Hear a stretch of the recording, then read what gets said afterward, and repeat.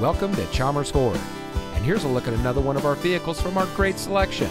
And comes equipped with rear view camera, rain sensitive windshield wipers, climate controlled heated and cooled front seats, parking sensors, alloy wheels, Sirius XM satellite radio, keyless entry, steering wheel controls, electronic stability control, rear spoiler, and has less than 35,000 miles on the odometer.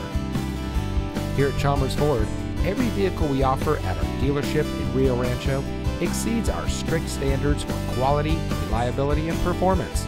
We have a friendly and accommodating staff eager to assist you, and our team of experts is ready to dish all you need to know about our available car loan and lease options. Our shoppers feel at ease, worry free, and extra satisfied with their purchases from us.